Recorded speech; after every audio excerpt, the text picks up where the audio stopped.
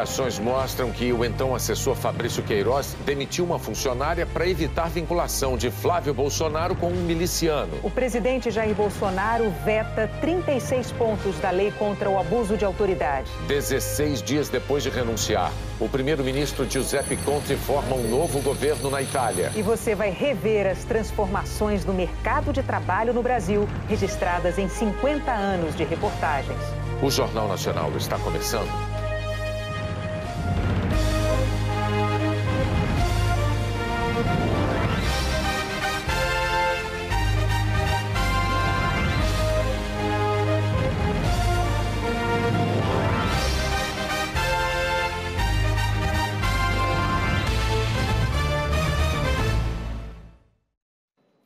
Presidente Jair Bolsonaro indicou Augusto Aras para o posto de Procurador-Geral da República no lugar de Raquel Dodge, que vai deixar o cargo em menos de duas semanas. Aras é subprocurador-geral e não estava na lista de indicações da Associação Nacional dos Procuradores da República. O presidente Jair Bolsonaro fez o anúncio numa solenidade do Ministério da Agricultura. Acabei de indicar o senhor Augusto Aras para chefiar o Ministério Público Federal. Uma das coisas, conversado com ele, já era a sua prática também, é na questão ambiental. O respeito à produtor rural e também o casamento do, da preservação do meio ambiente com o produtor. Então, é um homem que estará, não digo ao nosso lado, ao lado do Brasil, eh, nas questões afeta a Procuradoria-Geral da República. Bolsonaro já vinha sinalizando o perfil que queria para o comando da Procuradoria-Geral da República. Que não seja xiita na questão ambiental, certo? Que não, que não interfira no corte de cabelo de aluno de colégio militar.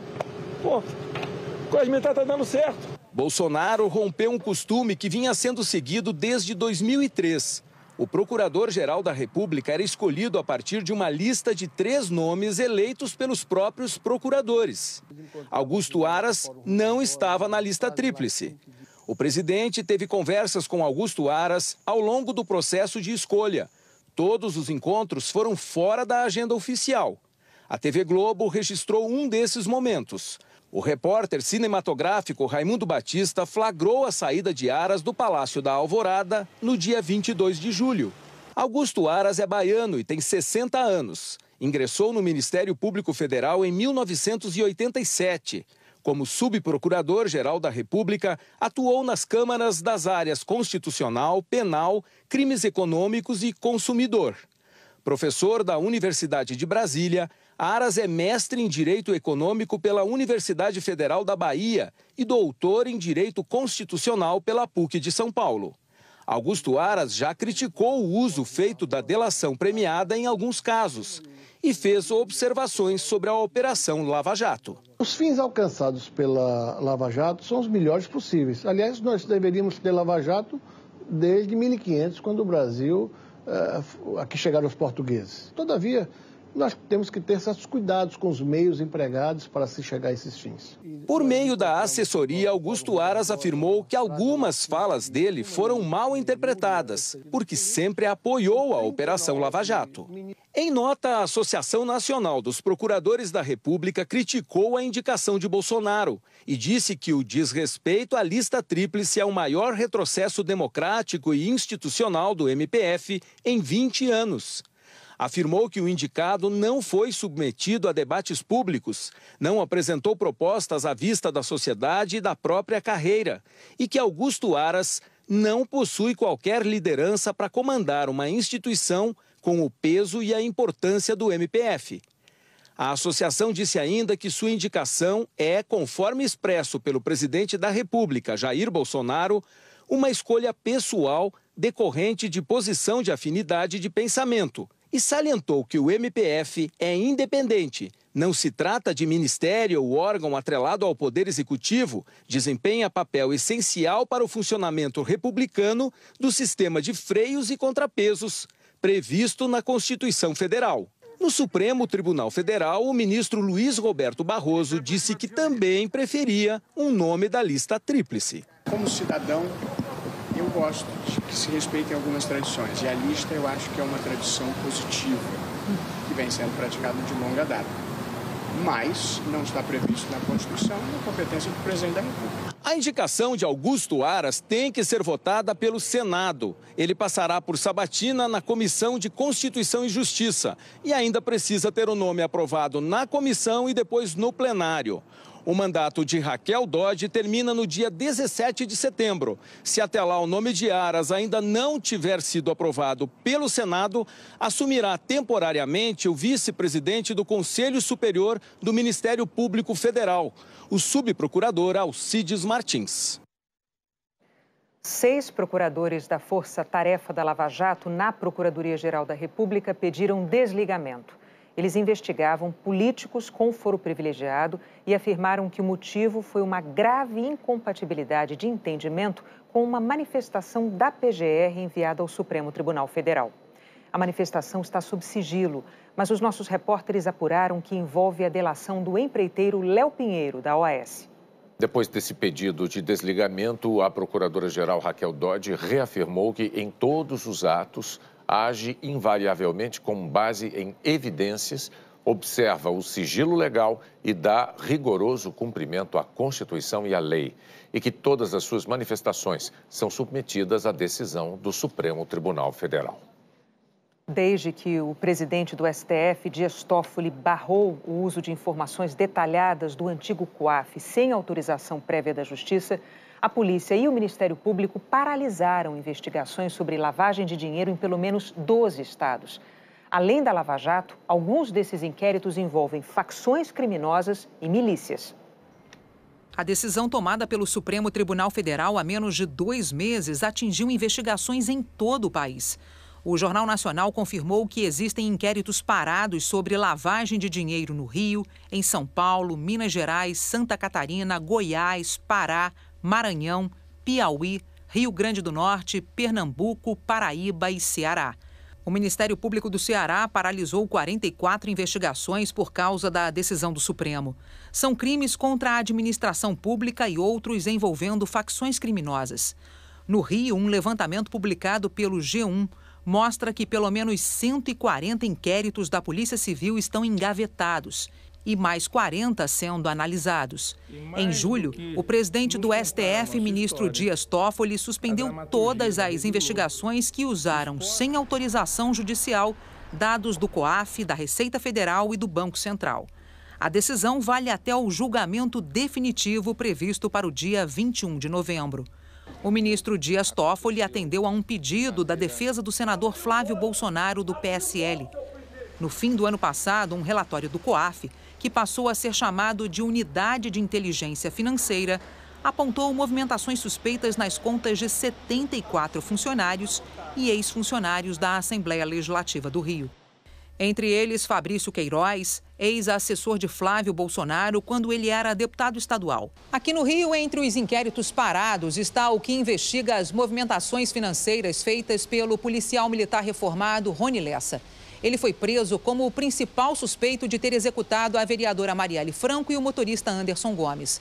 O Departamento de Combate à Corrupção, ao Crime Organizado e à Lavagem de Dinheiro da Polícia Civil do Rio analisava as transações bancárias de Lessa para saber se ele recebeu quantias suspeitas na época do assassinato. Já a outra investigação da Delegacia de Homicídios para saber quem são os mandantes do crime continua. Rony Lessa também é réu por tráfico de armas. Pelo menos dois acusados pela Lava Jato do Rio já conseguiram a suspensão de processos com base na decisão de Dias Toffoli. No mês passado, o ministro Gilmar Mendes atendeu a um pedido da defesa de Lineu Martins, ex-assessor do Departamento de Estradas de Rodagem e de um ex-conselheiro de uma construtora, Alex Sardinha da Veiga, ambos investigados por corrupção. Este ano, antes da decisão de Dias Toffoli, a Polícia Civil do Rio já tinha conseguido o sequestro de 52 milhões de reais em bens de contraventores, milicianos e traficantes, além de dinheiro desviado de cofres públicos. O advogado de Rony Lessa disse que ainda não recebeu nenhuma intimação para depor em investigação por lavagem de dinheiro. O advogado de Fabrício Queiroz afirmou que as investigações foram paralisadas pela inexistência de um simples requerimento judicial determinado em lei para a obtenção das informações. A defesa do senador Flávio Bolsonaro disse que a decisão de Dias Toffoli corrige excessos que ocorriam no Brasil e que só se pode quebrar o sigilo bancário de um cidadão se houver permissão da Justiça.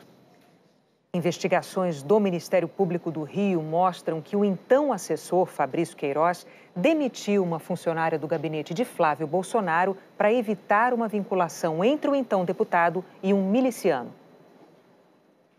Fabrício Queiroz mandou uma mensagem de texto para a funcionária do gabinete no mesmo dia em que a investigação sobre a movimentação financeira dele ficou pública, 6 de dezembro de 2018. Um relatório do COAF apontou que Queiroz movimentou de maneira suspeita 1 milhão e 200 mil reais no período de um ano. O Ministério Público do Rio passou a investigar se ele arrecadava parte dos salários de outros funcionários do gabinete e repassava para Flávio Bolsonaro, numa operação conhecida como Rachadinha. O jornal O Globo revelou os diálogos entre Fabrício Queiroz e a ex-funcionária hoje. Queiroz exonerou Daniele Mendonça Costa da Nóbrega, do gabinete do então deputado Flávio Bolsonaro, na Alerj, e explicou que o motivo era a investigação. Daniele da Nóbrega tinha sido casada com Adriano Magalhães da Nóbrega, conhecido como Capitão Adriano, e apontado como chefe de uma quadrilha de milicianos na zona oeste do Rio. A reportagem diz que durante a conversa, Queiroz pediu a Daniele que evitasse usar o sobrenome do ex-marido. Ela respondeu que não usava mais. A íntegra da conversa foi extraída do celular de Daniele. O Ministério Público do Rio apreendeu o aparelho em janeiro deste ano, durante uma outra operação contra milicianos acusados de homicídios e cobranças ilegais de moradores. Um dos mandados de prisão na época era contra o capitão Adriano Nóbrega, que continua foragido. O capitão respondeu a inquéritos por ligação com a contravenção, extorsão e envolvimento com a máfia de caça-níqueis. Em 2014, foi expulso da polícia. Flávio Bolsonaro já homenageou o capitão Adriano duas vezes.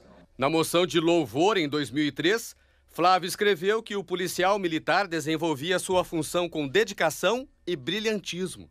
Em 2005, Adriano recebeu a maior honraria do Estado, a Medalha Tiradentes. Na época, ele estava preso pela morte de um guardador de carros. Adriano chegou a ser condenado a 19 anos de prisão. Em relação à homenagem a Adriano da Nóbrega, Flávio Bolsonaro disse em janeiro que sempre atuou na defesa de agentes de segurança pública e que já concedeu centenas de outras homenagens. O advogado de Flávio Bolsonaro disse que a informação sobre Fabrício Queiroz e a ex-servidora não procede.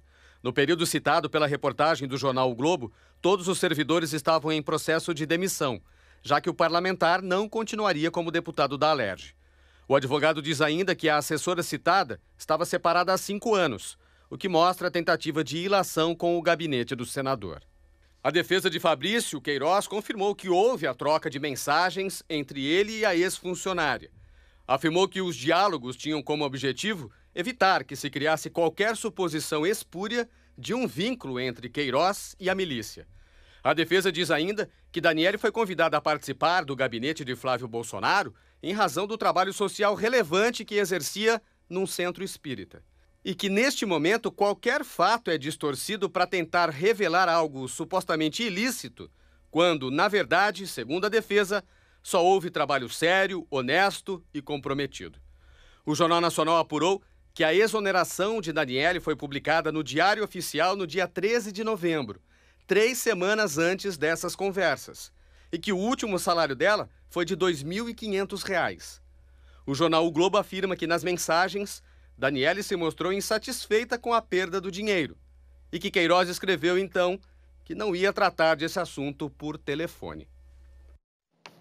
Sobre a movimentação de 1 milhão e 200 mil reais, a defesa de Fabrício Queiroz disse que isso é fruto da entrada e saída dos salários que Queiroz, de, perdão, dos salários de Queiroz e da família que ficavam sob custódia dele. Nós não conseguimos contato com as defesas de Daniele da Nóbrega e Adriano Magalhães da Nóbrega. O presidente Jair Bolsonaro vetou 36 pontos de 19 artigos da Lei de Abuso de Autoridade. Os vetos precisam da confirmação do Congresso. O prazo terminava hoje. Cedo, o presidente Jair Bolsonaro confirmou a decisão sobre o texto aprovado pelo Congresso. Nós queremos combater o abuso de autoridade, mas não podemos botar um remédio excessivamente forte, de modo que venha matar o paciente. Não estou afrontando o parlamento, nem querendo fazer média com a população, nem ceder ao clamor por parte de muitos populares e veta tudo. Não sou radical, mas devemos construir algo que possa sim fazer o Brasil ser diferente na frente. A nova lei sobre abuso de autoridade foi publicada em edição extra do Diário Oficial.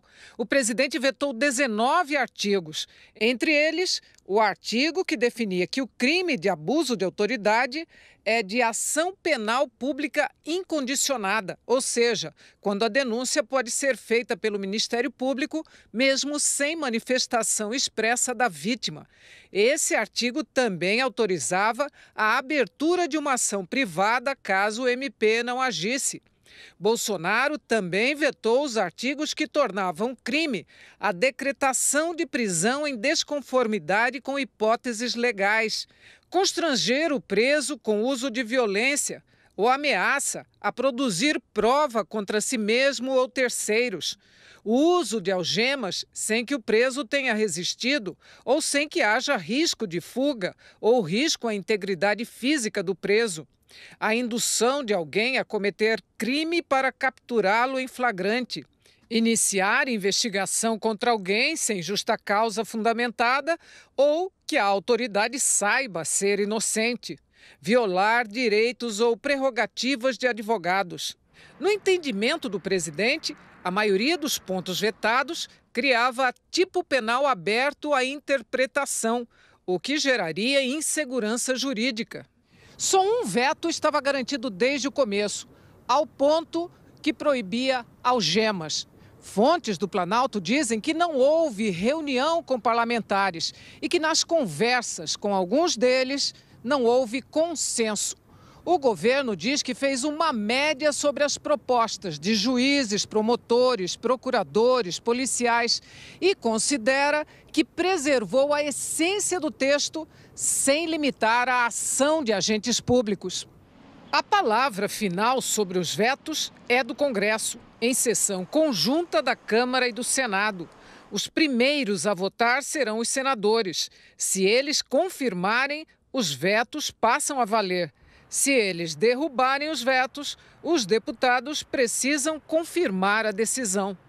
O relator da proposta, deputado Ricardo Barros, do Progressistas, defendeu o texto aprovado no Congresso e disse que os líderes ainda precisam se reunir para discutir. É lamentável tantos vetos, porque a lei foi votada por acordo entre os senhores líderes, mas caberá a estes senhores líderes a decisão de como os partidos se posicionarão nessa sessão do Congresso Nacional. O senador Major Olímpio, líder do PSL no Senado, afirmou que acredita na manutenção dos vetos. Eu tenho a convicção que nós, pelo Senado, vamos assegurar a manutenção desses 19 vetos e depois vamos propor uma lei mais justa e equilibrada em relação ao abuso de autoridade. A Associação de Juízes Federais do Brasil afirmou que o presidente Bolsonaro acatou quatro das oito sugestões feitas pela entidade, que vai acompanhar a votação no Congresso e que, apesar dos vetos, a matéria precisa ser mais discutida. A Associação dos Magistrados Brasileiros diz que Bolsonaro contemplou grande parte dos pedidos de veto e que, se forem mantidos pelo Congresso, vão aperfeiçoar o texto. Mas a AMB lembrou que os outros itens não vetados são motivo de preocupação, porque podem criminalizar a atividade de julgar. Uma pesquisa Datafolha concluiu que o ministro da Justiça e Segurança Pública, Sérgio Moro, se mantém como mais bem avaliado do governo. 54% dos entrevistados consideram a gestão dele ótima ou boa. A aprovação do governo do presidente Jair Bolsonaro é de 29%. O Datafolha ouviu quase 3 mil pessoas no fim de agosto. A seguir, o primeiro-ministro que renunciou forma um novo ministério na Itália.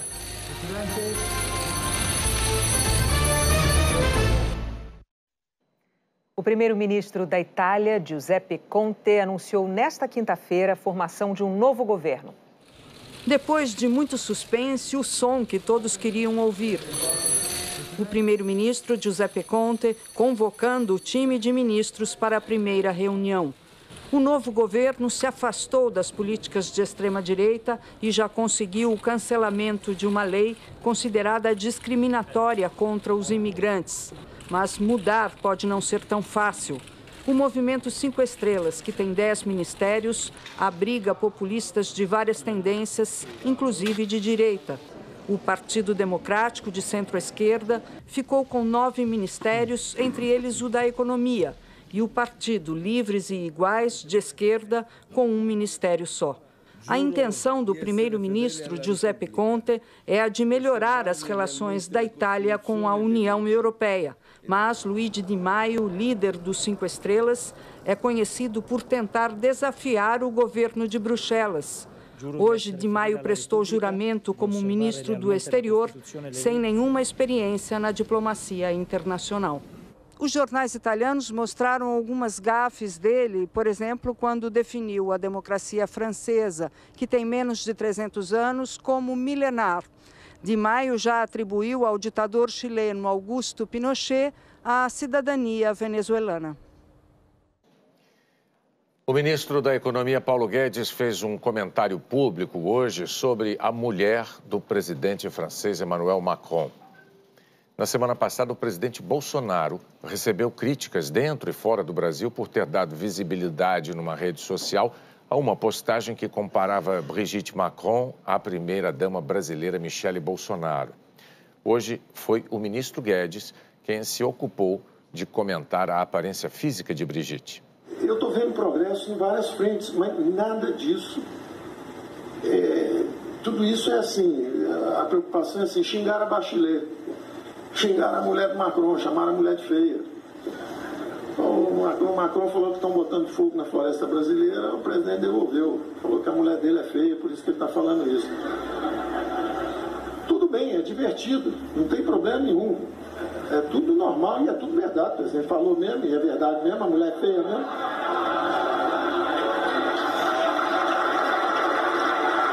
Não existe mulher feia. Existe mulher observada do ângulo errado. Agora há pouco, o Ministério da Economia divulgou a seguinte nota, abre aspas. O ministro Paulo Guedes pede desculpas pela brincadeira feita hoje em evento público em Fortaleza, quando mencionou a primeira-dama francesa Brigitte Macron. A intenção do ministro foi ilustrar que questões relevantes e urgentes para o país não têm o espaço que deveriam no debate público. Não houve qualquer intenção de proferir ofensas pessoais. Fecha aspas. Vamos saber agora como fica a previsão do tempo para amanhã. Olá, Maju, boa noite. Renata, boa noite para você, para o Bonner e para todos. Renata, amanhã tem sol em tempo integral em toda essa área amarela e em vários pontos dela a umidade relativa do ar cai muito. No Clube da Secura a gente tem Palmas com 39 graus, a gente tem também Campo Grande com 36 e 35 lá em Macapá. Entre o Rio Grande do Sul e o Rio de Janeiro tem previsão de ressaca, ondas de até 3 metros aí de altura. E o Rio é uma das terras da garoa amanhã. A sexta por lá deve ser Garoenta e também aqui em São Paulo e em Curitiba. 16 de máxima na capital paranaense, 21 em São Paulo e 25 no Rio de Janeiro. Em Vitória, Salvador e lá em Porto Seguro, a chuva deve ser mais encorpada. Aracaju, com aquela chuva ligeirinha e 31 graus de máxima. Em Floripa, deve chover o dia inteirinho e a máxima vai ser de 19 graus. Cuiabá, com pancada bem isolada, que não diminui o calorão. 41 graus. Em Manaus também tem pancada e calor. Eu encerro a previsão hoje, dia 5 de setembro, dia da Amazônia, lembrando da importância da floresta para regular o regime de chuva no centro-sul do país. A umidade que é gerada pela floresta é transportada pelos ventos que batem na Cordilheira dos Andes e é responsável por boa parte da chuva que cai no centro-sul do país. Na mesma latitude, em outros lugares do planeta, a gente tem desertos importância da Amazônia para regular os sistemas de chuvas. Obrigada, Maju. Até amanhã. Até amanhã. A seguir, a economia proporcionada pela reforma da Previdência na proposta dos senadores. E ainda Copa do Brasil e o amistoso da seleção.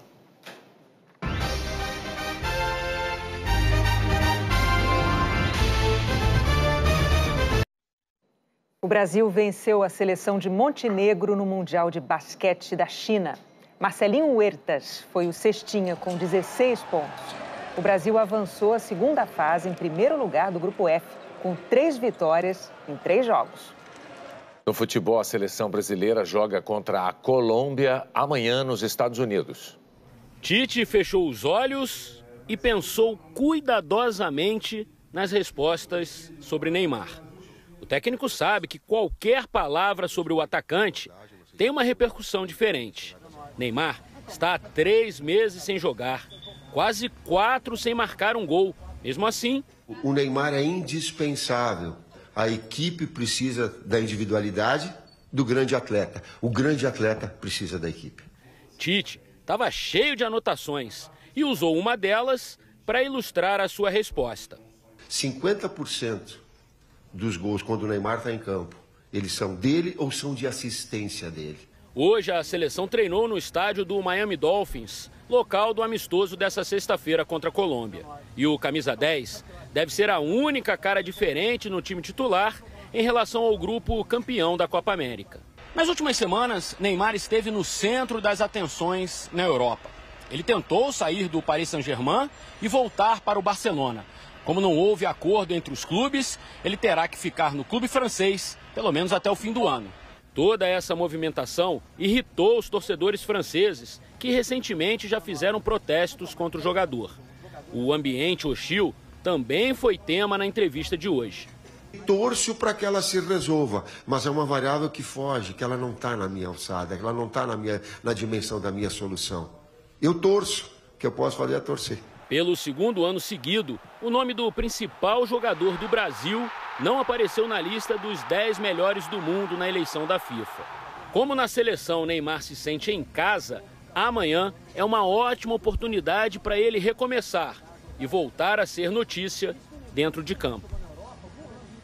A CBF sorteou o mando de campo das finais da Copa do Brasil. Na próxima quarta-feira, o Atlético Paranaense recebe o Internacional em Curitiba.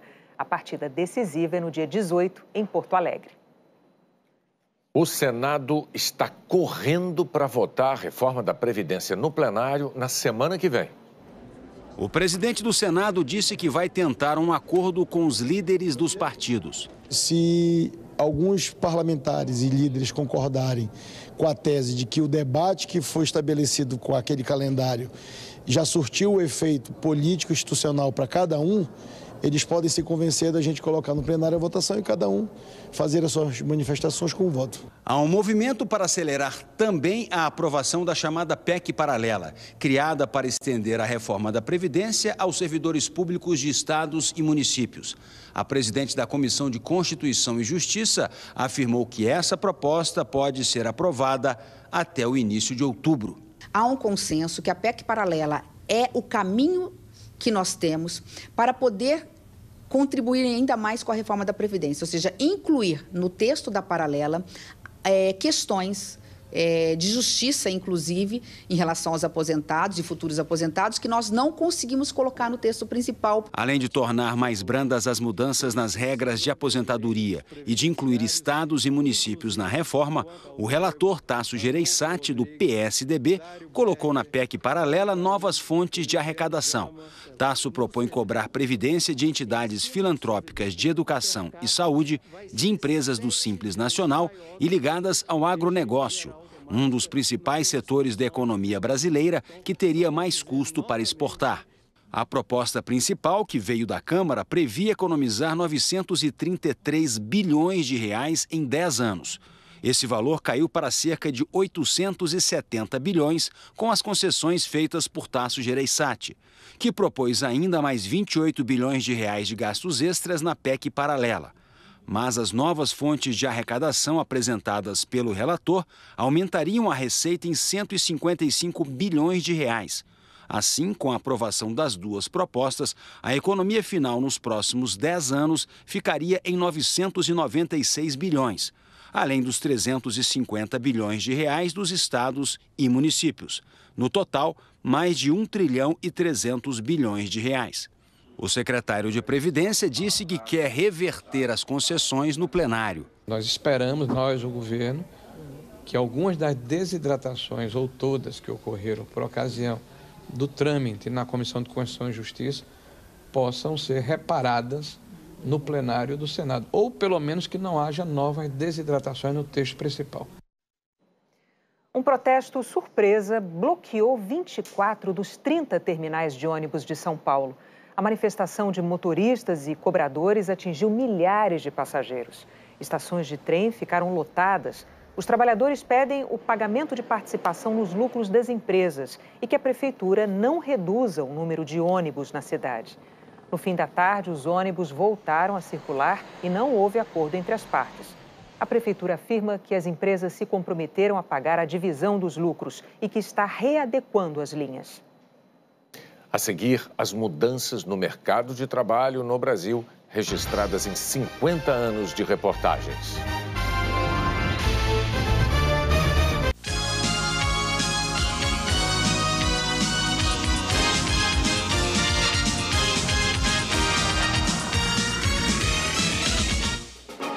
O cenário que nós estamos revisitando hoje surgiu no Jornal Nacional em 1989 e foi um dos mais marcantes em 50 anos de história.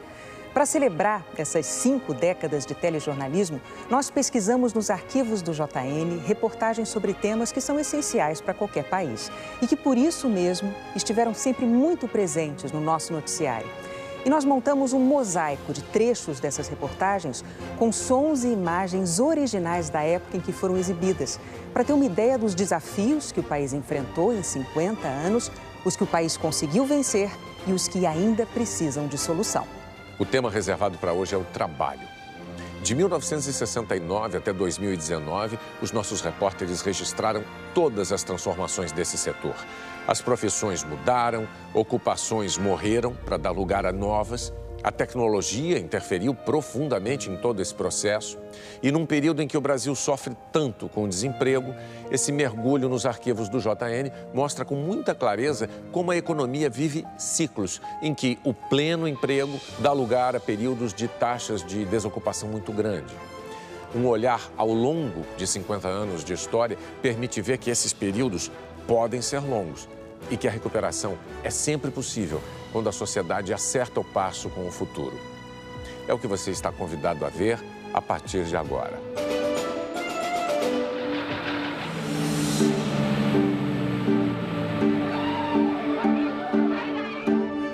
O brasileiro não tem medo do batente. Acorda cedo, trabalha muito, aprende rápido. O trabalho fica longe, paga pouco e o brasileiro vai. Mas o que garante o seu emprego? A automação industrial se intensificou no Brasil a partir de 82. As empresas oferecem produtos e serviços melhores, a custos mais baixos, em benefício dos consumidores. Em compensação, o mercado de trabalho no Brasil vive em regime de sobressalto.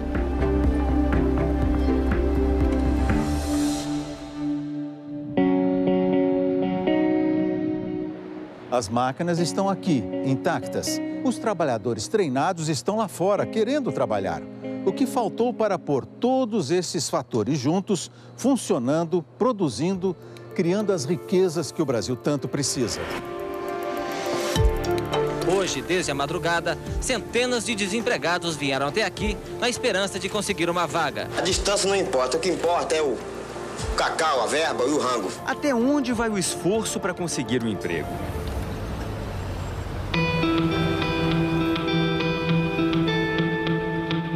Desempregado há quanto tempo? Ah, já tem dois anos. Sabe, na situação que a gente está, não pode ficar parado. O desemprego no Brasil é o mais baixo desde 2002, quando o IBGE adotou a forma atual de calcular a taxa. As obras que surgem em todo o país são como um termômetro do crescimento econômico. Os salários pagos aqui fazem girar dinheiro e o resultado é mais carteira assinada, Brasil afora. Em 2014, o desemprego nas seis regiões metropolitanas pesquisadas pelo IBGE ficou em 4,8%. Uma vai ser minha, se Deus quiser. Se eu não conseguir aqui, essa semana eu consigo emprego. Eu tenho fé em Deus que eu consigo. Consigo. Tem que sair confiante, porque não adianta sair de não, eu não vou sair, eu não vou conseguir. Aí não adianta, você tem que ir na fé de conseguir. E quem conquista sai das estatísticas de desemprego com muita celebração. Profissão? Auxiliar de limpeza com todo orgulho. Enquanto o mercado formal não se recupera, o desempregado corre para o mercado informal. Gente que está tendo que se virar para arrumar um jeito de colocar comida na mesa. De cada quatro brasileiros empregados, um trabalha por conta própria. O maior registro desde o início da pesquisa em 2012. Antes eu era pedreiro, empreiteiro de obras. Esses homens, por exemplo, vendedores ambulantes, que estão trabalhando aqui na porta dessa fábrica, um dia já foram metalúrgicos. Guarda-chuva, banana, laranja, o que acha na praça? É a única forma que você encontrou para sobreviver. É, é o jeito que tem, né? Não precisa nem mudar de calçada. Não existe um número oficial, até porque esse é um negócio que não tem nada de oficial. Aqui embaixo tem uma, aqui na esquina tem outra, do outro lado da rua tem outra.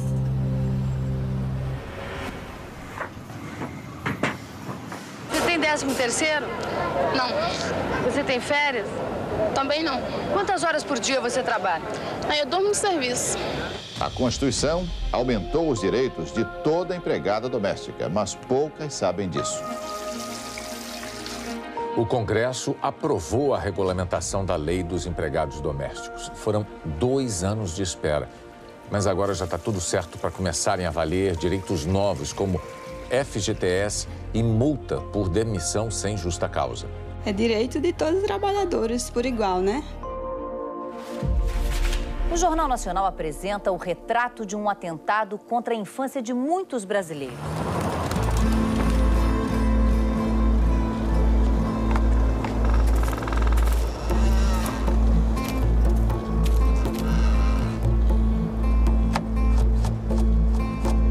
Crianças trabalhando feito homens, carregando fardos que chegavam a pesar 130 quilos, conferidos na balança.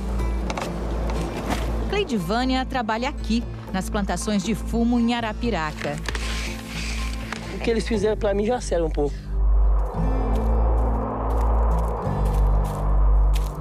No Rio e em São Paulo acontece o contrário. A maioria destes pequenos trabalhadores não está na lavoura, mas em atividades no espaço urbano. Muitos viram com alguma desconfiança a criação do programa de erradicação do trabalho infantil. E oito anos depois, o Brasil testemunha como uma ação social pode dar resultados surpreendentes. A máquina de bater o sisal já foi um dos símbolos do trabalho infantil na Bahia. Hoje a situação é bem menos dramática. Só na região do Sisal, cerca de 20 mil crianças trocaram a roça pela sala de aula. Criança trabalhando não pode, tem que ser exato também, tem que trabalhar. O Brasil assumiu o compromisso de erradicar o trabalho infantil até 2025. O salário mínimo brasileiro faz hoje 50 anos. Ele foi criado para garantir a alimentação, a casa, as roupas, a higiene e o transporte dos trabalhadores. Em 1938, o governo brasileiro definiu em lei a quantidade mínima de alimentos que um trabalhador deveria consumir por mês. Com o salário mínimo de 1959, dá para encher dois carrinhos de supermercado. Com o mínimo de hoje, o trabalhador só compra isso aqui. Aqui estão todos os alimentos e artigos de higiene e limpeza consumidos por uma família de quatro pessoas durante um mês. É a cesta básica, calculada pelo Diese em 115 reais. Para quem ganha o mínimo, restam 5 reais para as outras despesas. O governo anunciou o novo valor do salário mínimo que entra em vigor amanhã. 240 reais. 350 reais a partir de maio. O valor do salário mínimo para 2010 ficou em R$ 505,90 no projeto do orçamento encaminhado hoje ao Senado. Em 2016, 44 milhões e meio de brasileiros receberam, em média, 747 reais por mês, menos que o salário mínimo. Enquanto isso, as 889 mil pessoas mais bem remuneradas do país receberam, em média, 27 mil reais por mês.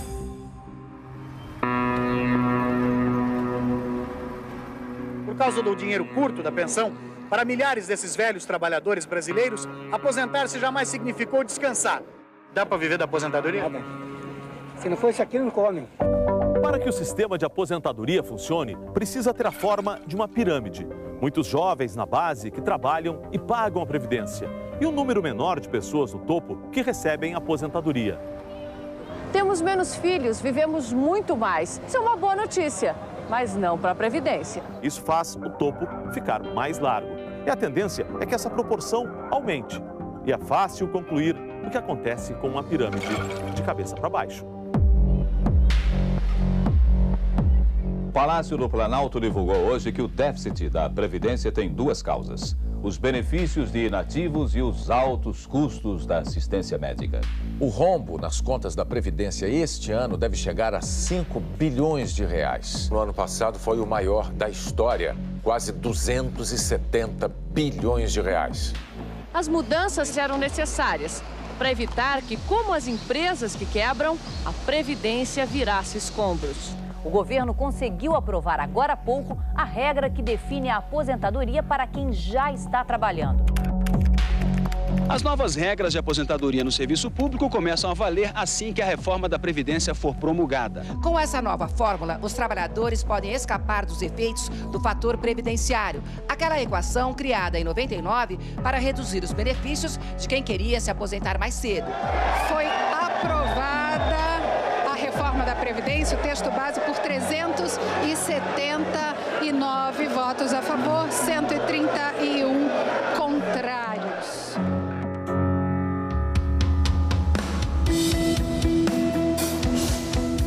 Para encarar esse desafio, não basta apostar só no crescimento da economia. 30 anos atrás, a educação era praticamente nenhuma, nenhuma formação era necessária, se buscava muito mais a força física.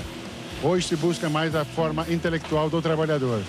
Nós teremos pouco emprego industrial, toda a nossa atividade econômica vai ser muito mais na área do lazer, da cultura, da saúde, da educação, da informação.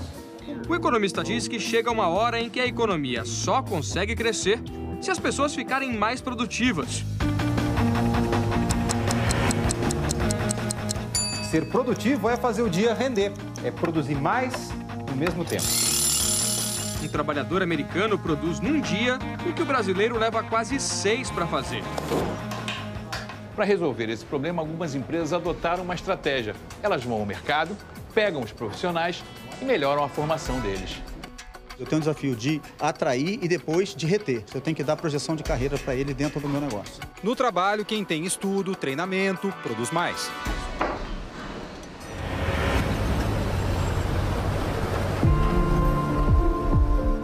Mesmo que ela produza, trabalhe, trabalhe, trabalhe, ela nunca chega a ser valorizada, sabe? Dos documentos normalmente exigidos para admissão de empregado, a dona Luísa apresentou todos. Mesmo assim, ela não passou no teste porque a empresa fez outra exigência, que ela apresentasse um atestado médico comprovando que havia feito uma operação para ligação das trompas. No lugar do trabalho, a mulher não deixa de ser mãe. Esse direito nasceu aos poucos. A partir do momento que eles deram chance para a gente, a gente segurou com todas as forças e chegamos lá. A proporção de mulheres como chefes de família triplicou em uma década. Apesar dos avanços dos últimos anos, ainda há um longo caminho a percorrer. No geral, as mulheres entre 25 e 49 anos ganham 20,5% menos que os homens.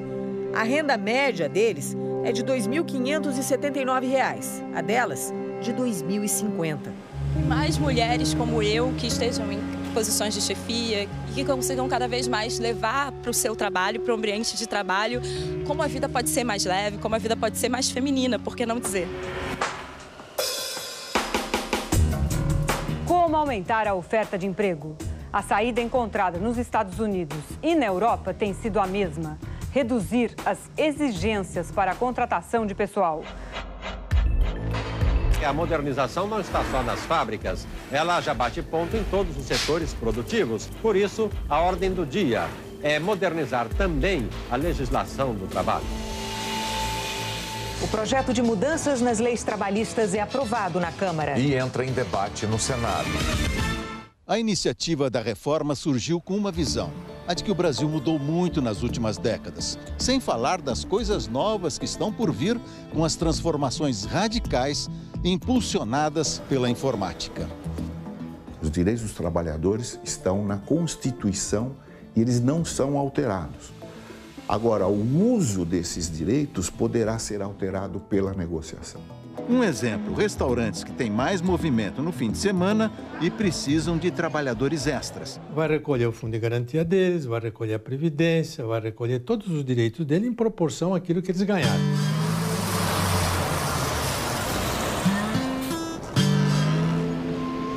Fazenda virou empresa um novo recorde histórico na safra de grãos que o Brasil está colhendo agora.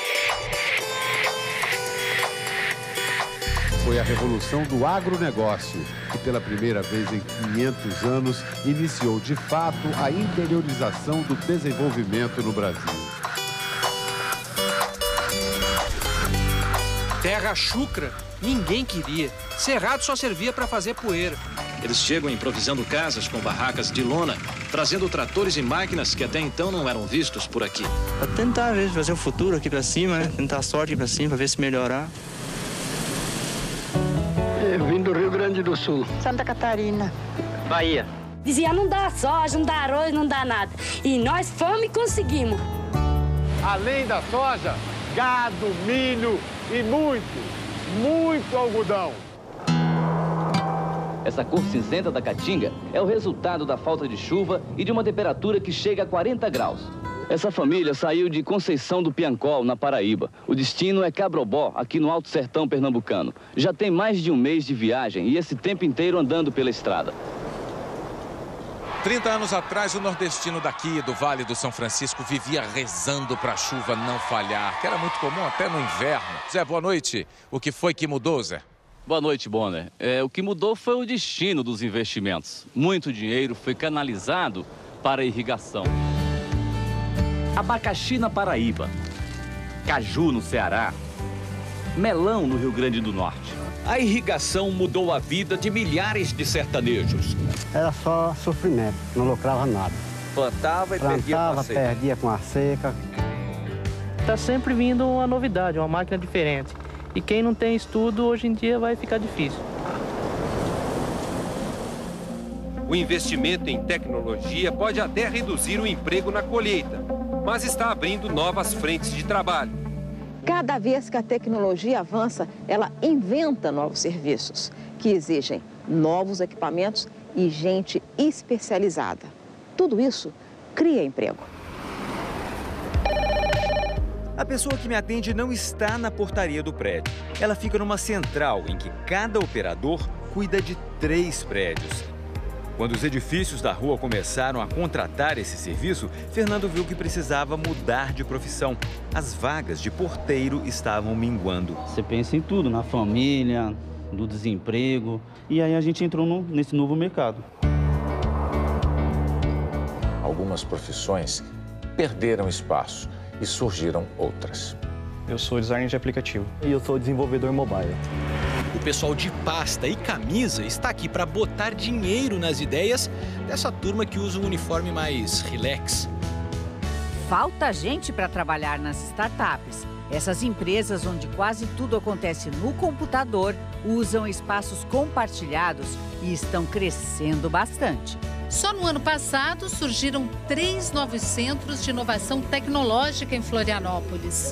Esses centros de inovação viraram verdadeiras máquinas de desenvolver empresas e empregos. Nem o velho bilhetinho é mais o mesmo. Você abriria a porta da sua casa para um estranho? Deixaria essa pessoa que você nunca viu na vida dormir na sua cama? Entregar o carro não vai ser problema, né? Mas tem muita gente ganhando muito dinheiro assim. planeta inteiro já está totalmente acessível aqui pelo smartphone. O celular apontou um novo caminho quando o Mário foi mandado para a rua depois de sete anos na empresa em que ele trabalhava. Há dois meses, ele que é técnico em informática virou motorista de aplicativo.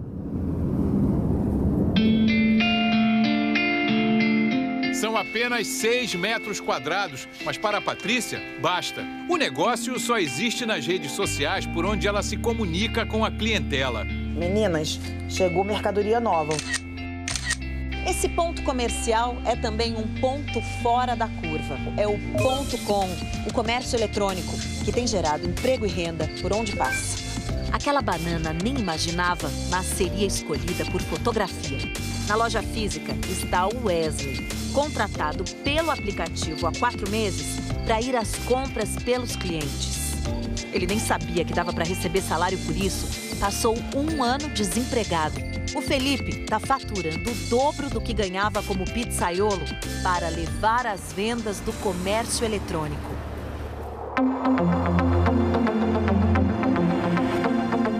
Ter medo do futuro é normal, principalmente quando tudo está mudando. Mas hoje, o mercado pede um profissional ágil e empolgado, que toma iniciativa e tem espírito empreendedor. Um retrato falado do trabalhador brasileiro.